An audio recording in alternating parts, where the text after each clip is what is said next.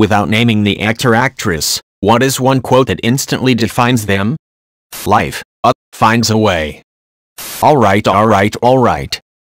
Life is like a box of chocolates. Wow. Your scientists were so preoccupied with whether or not they could, they didn't stop to think if they should.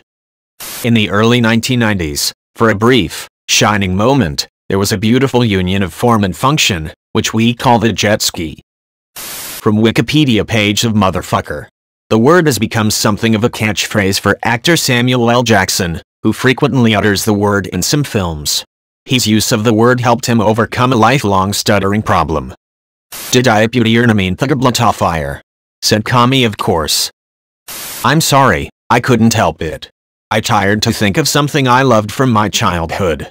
Something that could never, ever possibly destroy us.